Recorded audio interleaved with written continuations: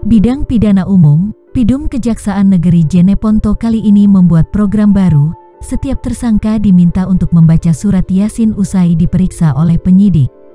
Kepala Seksi Pidana Umum Kejari Jeneponto, Hari Surahman mengatakan, tersangka yang membaca ayat suci Al-Quran merupakan program yang dia cetus dan berlaku mulai hari ini, Kamis, tanggal 19 Agustus tahun 2021.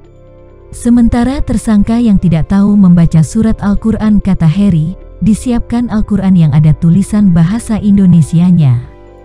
Sebelumnya, Harry juga membuat program yang diberi nama Jabat Hati, Jaksa Sahabat Tanahan Napi di Rutan kelas 2B Jeneponto.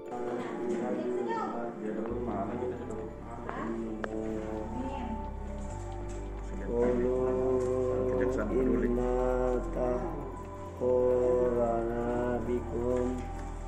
la in lamat tahu